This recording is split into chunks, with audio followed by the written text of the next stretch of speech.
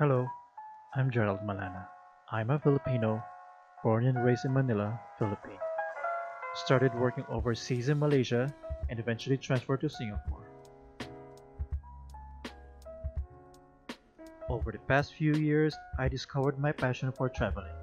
So I'd love to share what I saw and experienced in the form of photography and videos. I'm a kid who never really grew up.